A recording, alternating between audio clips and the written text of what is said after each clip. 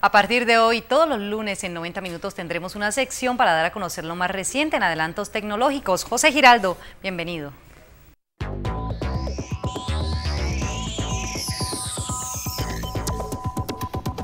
Hola, ¿qué tal? Bienvenidos a Tecno en 90 minutos. Una de las principales herramientas en Internet es el correo electrónico y cuando de seguridad se trata, cambiar su contraseña periódicamente es importante. Hotmail en Colombia dispone de 7 millones de usuarios. Veamos el procedimiento. Una vez estando en bandeja de entrada ingresamos con un clip en opciones, categoría seguridad. Confirmamos la vieja contraseña, nuevamente la escribimos y digitamos dos veces la nueva. Recuerde combinar mayúsculas, minúsculas y números. ¿Es usted de esas personas que tienen Facebook gente desconocida? Póngale orden a su vida virtual. Ingresando al perfil incógnito, en la parte inferior de la barra izquierda, seleccione Eliminar.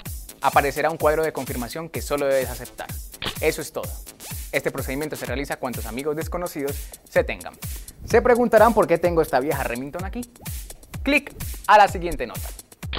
El teclado que usamos a diario cumple 144 años de creación. El invento se lo debemos al estadounidense Christopher Latham Schultz, quien lo llamó QWERTY. Todo comenzó con la invención de la máquina de escribir y fue la Remington, la primera empresa en comprar e implementar esta distribución en 1874.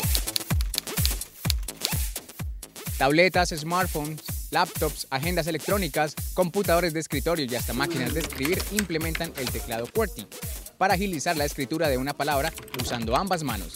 Su nombre, QWERTY, se debe a la ubicación de las seis primeras letras de la primera línea del teclado.